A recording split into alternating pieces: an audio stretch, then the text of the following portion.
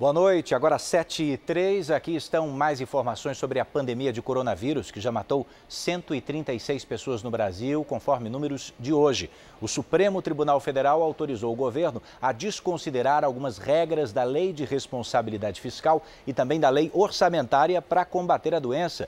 Boa noite para você, Renata Varandas.